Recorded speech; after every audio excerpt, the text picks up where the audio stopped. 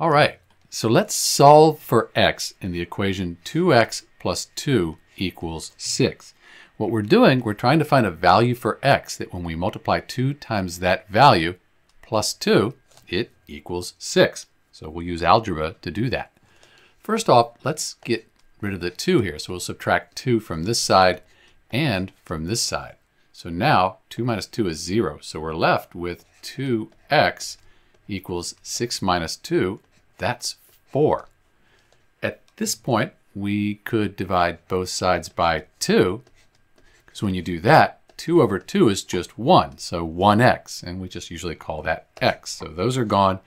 4 over 2. So 4 divided by 2, that equals 2. So, in answer to the question, when we solve the equation here for x, 2x plus 2 equals 6, x equals 2. And if you look at this, 2 times 2 is 4. 4 plus 2, that equals 6. 6 equals 6. So this is the correct answer. This is Dr. B, finding x in the equation 2x plus 2 equals 6. The answer is 2. Thanks for watching.